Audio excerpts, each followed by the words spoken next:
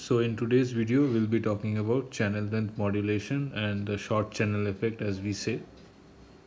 So let me first draw the N MOSFET. So the N MOSFET looks like this is the gate terminal, this is the drain terminal, this is the source terminal and this part is the bulk terminal and essentially the bulk is more or less connected to the source so if you want to have an idea that why this part this arrow is pointing inside so essentially in the device physics level say this is the source and this is the drain and this is the gate. Gate source drain and this is the P substrate. So this is the B terminal or the back gate whatever you say so essentially in this region it is it acts like a reverse biased diode. So the diode is essentially like this. So it is pointing inside. So that is why this is, arrow is also pointing inside. That is towards the gate. So this is why the arrow is inside. And the current flows like this id and this part is vgs okay. Now for a long channel MOSFET uh, now let me first say what is the meaning of a long channel MOSFET. The, in a long channel MOSFET here is the N plus and N plus. The source and drain are very much apart. That this L is large say suppose 10 micron.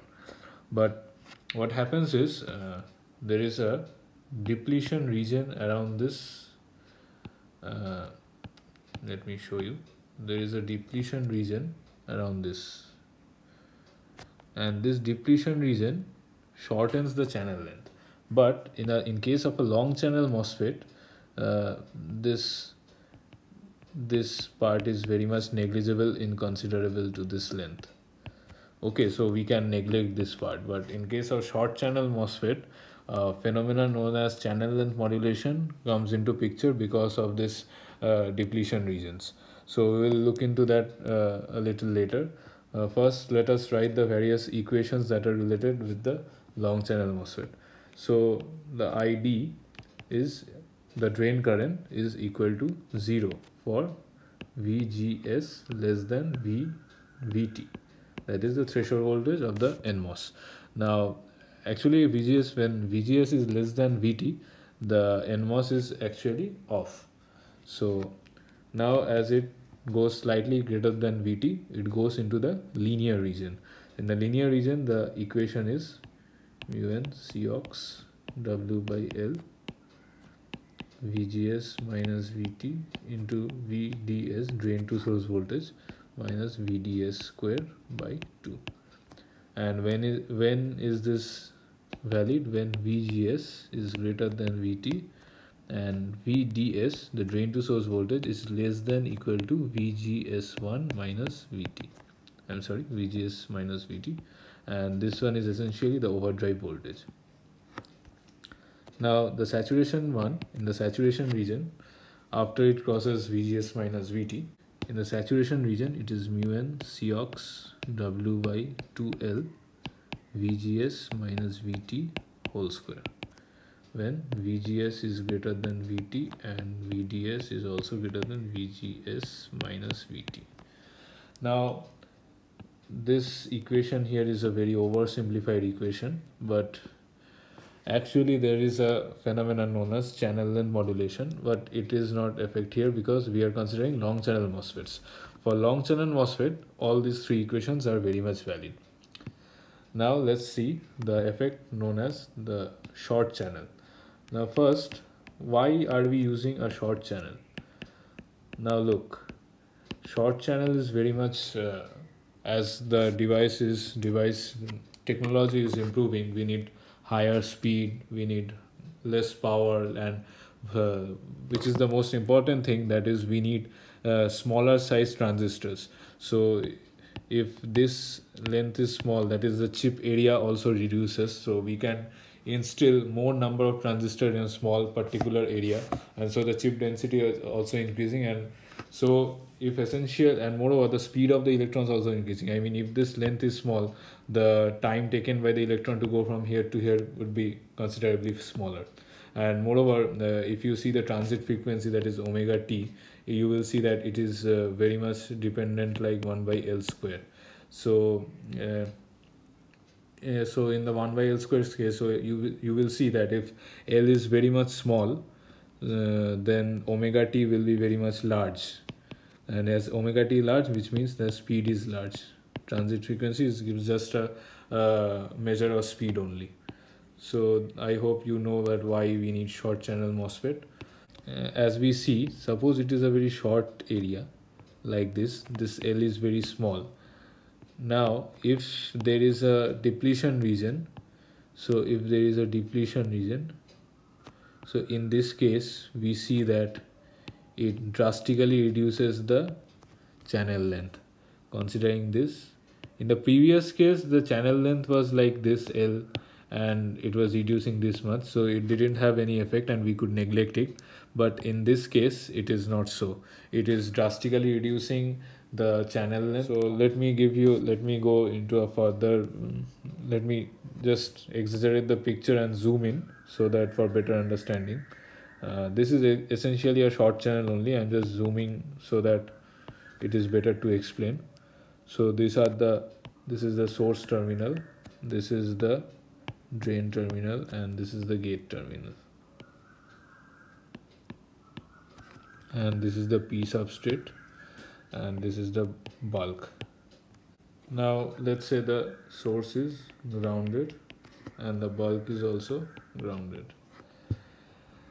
Now we see that if we apply a voltage vd here there will be a certain depletion region in this part. But the depletion region will be far drastical drastic in the drain side because VD is in a higher voltage and this is N and this is P. So essentially it is a diode like this and this part is at higher potential this part is at lower potential. So actually it is a reverse bias diode and this P region is lightly doped and the N region is highly doped. So the depletion region would be more in the substrate than in the uh, drain. So essentially, let's say the depletion region is like this. And inside it is very less. Because inside the doping is much higher. So as doping is much higher the depletion layer is very much small. So we see that uh, it drastically reduces the uh, length the channel length so if we further increase vd so this also increases further like this only. And inside also increases but inside we are neglecting that part. So let's say the channel length is getting reduced. So at first it was l. At first it was L. Now due, due to the depletion region it is getting reduced by delta L so essentially the equations will change that is first of all the since the list since the length is decreased so lesser gate voltage is required to invert the channel because essentially the fewer part of the channel is already created by the uh, n plus regions only so it will require lesser voltage to invert the channel as the channel length is small. So the VT threshold voltage will decrease. And again the L will also decrease. So let us take these two parameters into account. And more or less this is just, this just gives a intuitive picture. This is not the actual picture. In the device physics level there are many things like the uh, energy band diagrams and all but i'm just give, trying to give you an intuitive picture about this. Actual level there is many things happening but for our understanding uh, at this moment uh, this much knowledge is enough uh, for the channel length modulation. So so we know that id is equal to mu n cox w by l vgs minus vt whole square. This is for long channel. Okay. Now let us take this part into account. So it is mu n cox w by now it is l minus delta l. Vgs minus vt whole square. So v mu n cox w by taking l common l 1 minus delta l by l vgs minus vt whole square whole square.